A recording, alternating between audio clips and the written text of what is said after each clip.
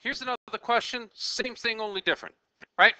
Okay, look, you know that this is the part that behaves. You know that this has to be thrown out. Okay, here we go. So minus 3x squared plus 18x, that's what stays. Minus 12 goes outside. Remember, you got a GCF here. Your GCF then is got to be negative 3. So we're going to factor that out first, giving you x squared. And don't forget, if you're factoring out a negative now, every sign changes. So that's x squared, and that's now minus 6x minus 12.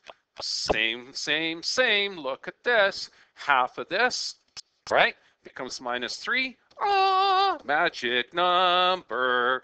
Squared becomes positive 9 which means you have to get rid of the 9 out here, but don't forget, everything was distributed, including the minus 3 to the 9 that you're trying to get rid of. So just distribute it one more time to the minus 3 out here.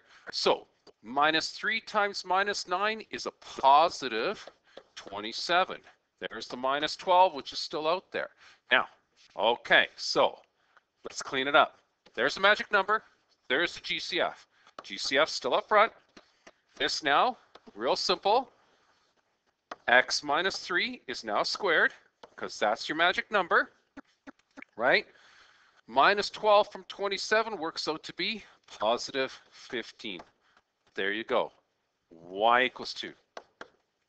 And again, try putting this in the calculator. See if you get exactly the same thing. Back up the podcast, find the original question. Actually, I'll even write it out for you. Y equals 2 minus 3x squared plus 18x minus 12. Put this in as y1 and this one as y2. See if they overlap each other perfectly. If they did, you know you did this right.